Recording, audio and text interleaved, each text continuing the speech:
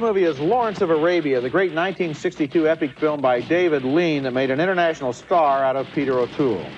The movie was an enormous hit when it first came out. It won seven Oscars, including Best Picture, but it was mistreated all the same. Lean's original version was chopped by 20 minutes shortly after it first opened. Another 15 minutes were taken out a few years later, and somewhere along the way, the entire second reel got flipped so that left became right and right became left. But now, Columbia Pictures and film expert Robert A. Harris have restored the original version of Lawrence. They've gone back to the negative, which was in pretty bad shape, been able to restore the original color. They've added missing scenes. They've corrected the focus. They've even flipped that second reel so the camels are going in the right direction. The movie still has the same haunting mystery, the same epic sweep, and the same overwhelming sense of place in the desert. He is dead. Yes. Why? This is my well. I have drunk from it. You are welcome.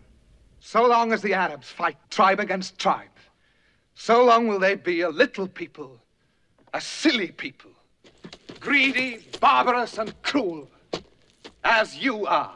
Lawrence of Arabia stars O'Toole as T.E. Lawrence, an Englishman who identified himself so closely with the Arab campaigns against the Turks in World War I that he began to dress as an Arab and to win their confidence as a leader. Come on, then!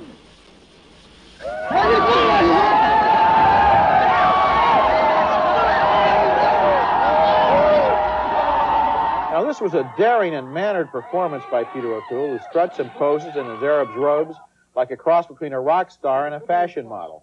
Arthur Kennedy plays an American journalist in this scene modeled after Lowell Thomas, who filed the stories that made Lawrence famous. Start if I take your picture? Okay. Just walk.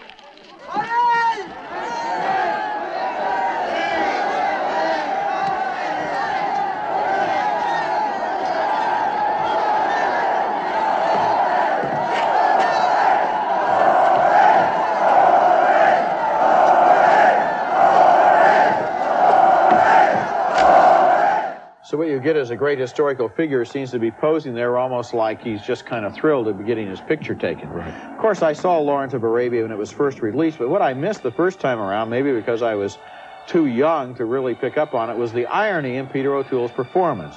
Lawrence isn't simply a hero, he's a brilliant but narcissistic madman who begins to think of himself as the savior of the Arabs.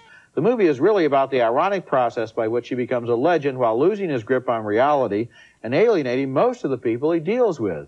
And yet he has some glorious adventures while he's self-destructing, and O'Toole commands a strong supporting cast, including Omar Sharif, Anthony Quinn, Alec Guinness. Hollywood doesn't have the nerve to make movies like this anymore, but at least they have the willingness to restore them. Uh, I saw had many of the same thoughts. I hadn't seen the picture in a theater since its initial release, and I was uh, 16 at the time. And uh, it was, it, I'll only say this, don't wait for any video version for this to come out. This is the picture that demands to be seen in the theater where we saw it. And the bigger the screen, the better. You didn't even mention the soundtrack, which has been restored, yeah. and it is wonderful. I mean, of course, the, mu- the musical themes, and they have three musical themes uh, for the uh, Arabs, for uh, Lawrence, and for the British. It's a beautiful score. The interesting thing about O'Toole's performance, in addition to what you mentioned, uh, and, and the character of Lawrence, is that his goals are noble. The unification of the Arabs, which today is a topical issue. I found the film incredibly topical for today, today's audience, is thinking about that part of the world. And of course, the imagery there, the ability to make you focus your eyes in a long distance for looking on the sands for the small vastness, objects. Vastness. That is such a vastness of the greatness, a great thing by David Lean. Now, you know, the irony is, I agree with you that this is a movie to be seen on the biggest screen you can find, and it's being re-released around the country, one city at a time, Right. in 70 millimeter, first in New York, Washington, and Los Angeles.